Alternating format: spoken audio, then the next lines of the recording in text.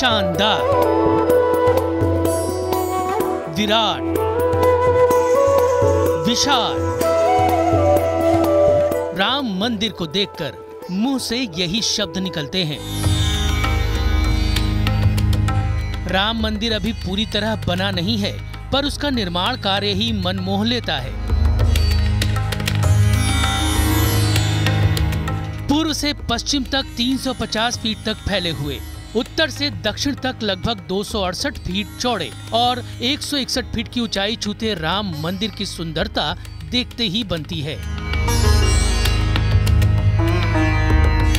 लेकिन राम मंदिर सिर्फ़ सुंदर ही नहीं, बेहद शक्तिशाली भी है।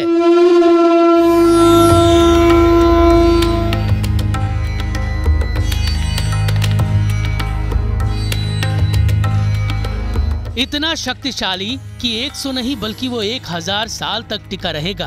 पीढ़ियाँ आएँगी, जाएँगी, सदियाँ बीत जाएँगी। एक हज़ार साल तक राम मंदिर पर एक खरोच तक नहीं आएगी।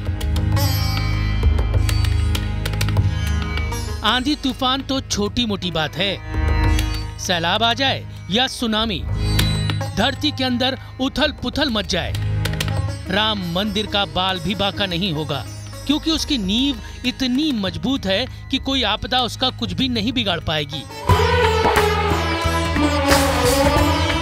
आईआईटी से लेकर सेंट्रल बिल्डिंग रिसर्च इंस्टीट्यूट और नेशनल जियोफिजिकल रिसर्च इंस्टीट्यूट के विशेषज्ञों ने राम मंदिर के ढांचे को डिज़ाइन ही इस तरह से किया है।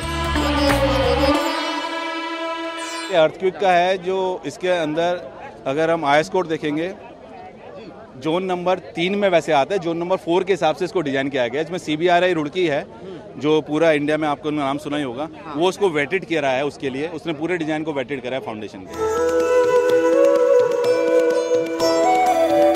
भारत को सबसे कम से सबसे ज़्यादा खतरनाक के क्रम में चार साइज्मिक जोन में बांटा गया है। शुरुआत होती है जोन टू से जहाँ भूकंप आने का खतरा सबसे कम है।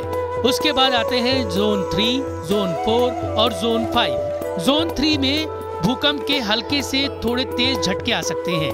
अयोध्या शहर इसी जोन में आता है। मगर राम मंदिर को जोन फोर के हिसाब से बनाया जा रहा है, जहाँ भूकंप आने का खतरा काफ़ी ज़्यादा है। यानी बड़े से बड़ा भूकंप आ जाए, राम मंदिर कांपेगा तक नहीं।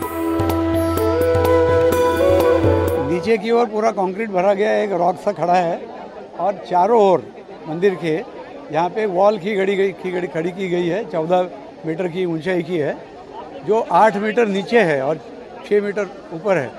ऐसी वॉल जो नदी का कितना भी बहाव हो, उसको तोड़ नहीं पाएगी।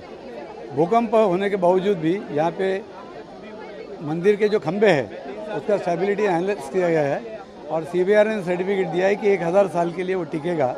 तो हम यकीन और डंके की चोट पे कह सकते हैं कि एक हज़ार साल तक मंदिर टिकेगा राम मंदिर में कुल 400 खंबे हैं, जो मंदिर को भूकंप के झटकों में एक पल के लिए भी डगमगाने नहीं देंगे।